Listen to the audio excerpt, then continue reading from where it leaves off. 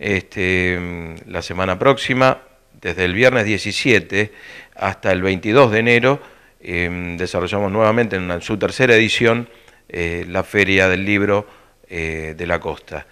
En, en esta ocasión eh, repetimos em, del 17, 18 y 19 en el Parador Municipal, que queda en Avenida Costanera, entre la calle 34 y 35 en Santa Teresita, desde las 19 horas, y mm,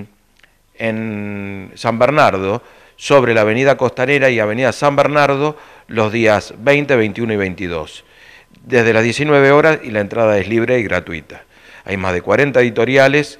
em, algunos eventos que se van a desarrollar eh, sobre em, este, en el parador municipal en Santa Teresita el viernes 17. Desde las 20 horas va a haber un ciclo, un pequeño em, eh, grupo de lectores, autores costeros, em, también hay algunos de la Ciudad Autónoma de Buenos Aires, eh, de General Lavalle, es un grupo este, que em, ideó este, Ana Claudia Díaz, que es actora cultural del Partido de la Costa,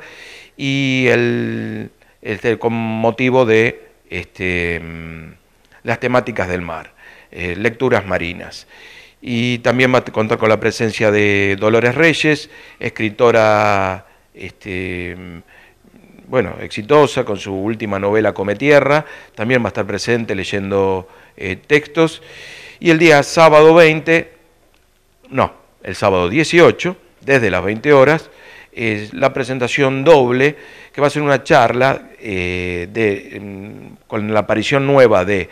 eh, la revista El Ojo Mocho, una reconocida revista eh, de pensamiento nacional, y, la aparición del libro La razón, este, la razón feminista,